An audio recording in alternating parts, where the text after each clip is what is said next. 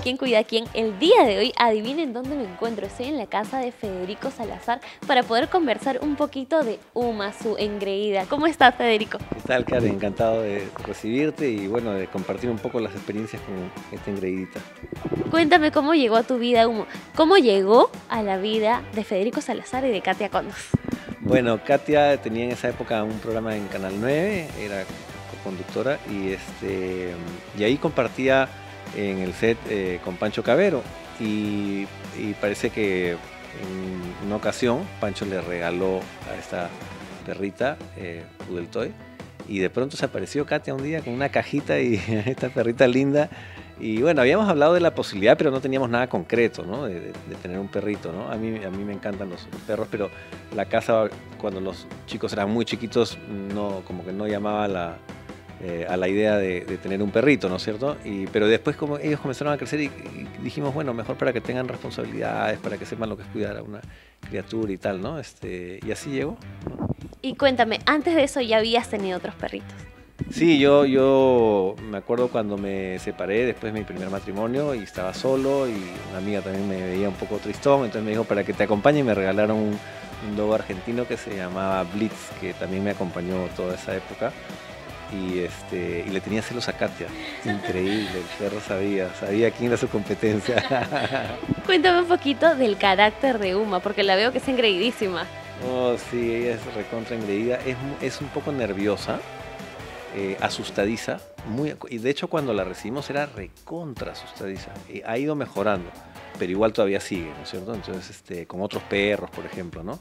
Eh, pero la, hemos ido socializando, la hemos ido soltando, la sacamos a pasear acá al parque, este, tiene sus amigos en el parque, ¿no?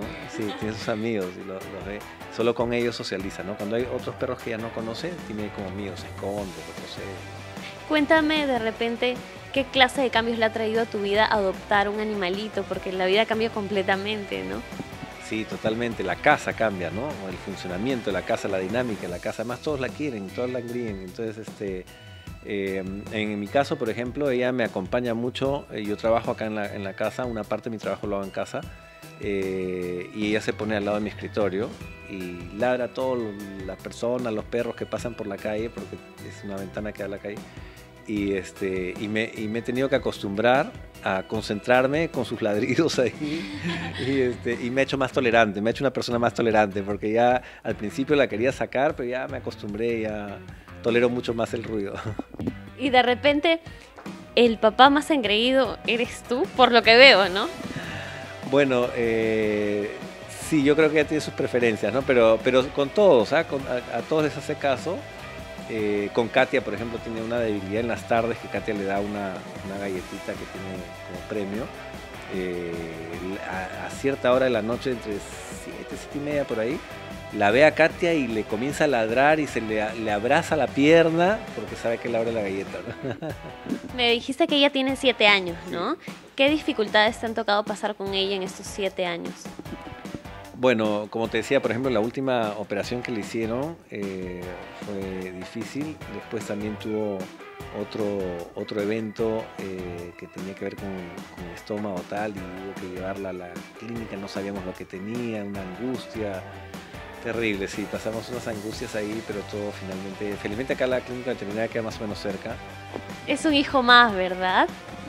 Sí, es un hijo más y un hijo especial, ¿no? Porque porque a los otros los puedes resombrar pues verbalmente, a, este no, acá no te entiende a veces. Pero yo le hablo bastante, o sea, yo me comunico bastante verbalmente con ella. Y yo creo que sí me mira con una carita así, ¿no? Este, eh, pero sí entiende. Me cuentas que no te ha dado nietos todavía.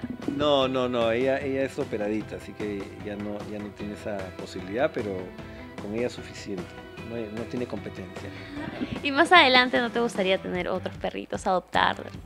Sí, probablemente, pero ¿sabes qué pasa? Que uno se encariña mucho y hay que tener cuidado porque en algún momento se van a ir, se van a ir mucho antes que uno y entonces eso duele bastante. Lo he pasado un par de veces ya. ¿El hecho de tenerla consideras que ha hecho más feliz a tu familia, la ha unido más? Sí, yo creo que UMA es un, punto de reunión, digamos, en torno a ella hay conversaciones, en torno a ella hay asignación de tareas, en torno a ella hay este, eh, festejos, ¿no? De lo que hizo lo que no hizo, cómo saltó, qué loca que es, este, en fin, ¿no? Como te digo, esas carreras que se hace de, de loco, ¿no? Federico, de repente a las personas que nos están viendo, ¿podrías recomendarles, si, si son responsables en realidad, adoptar? Ah, por supuesto. Eh, un perrito necesita compañía. Uma, Uma. Ven acá. Este, necesitan mucha compañía. Yo tuve ese perro anterior que te contaba y el problema es que como yo estaba solo en esa época, eh, el perro sufría porque yo me iba a trabajar, lo dejaba en la azotea y sufría. Entonces eh, ellos necesitan compañía, necesitan una familia. O sea, no solamente la compañía de él, sino una familia, un hogar. Eh, y bueno, si usted tiene un hogar y, y, además quiere asignar responsabilidades en la casa, para los niños crecer con eso es muy, muy bueno porque saben que hay horarios, saben que hay obligaciones, que, ¿no? que, que si no hacen algo el, el perrito sufre. Entonces creo que es una estupenda también manera de educarse para el cuidado de los demás para el cuidado de toda criatura en general. ¿no? Estos son seres vivos que tienen sus sentimientos, que tienen sus temas de salud también y que nos dan mucha alegría, ¿no? como, como Humita. Muy bien, Federico, muchas gracias por abrirnos las puertas de tu casa y por enseñarnos un poquito de tu relación linda con Uma. Uma, mi Uma querida. Sí, este, bueno, sí, no hay, na, no hay nada, nada más eh, eh, satisfactorio que el cariño que ellos te pueden dar.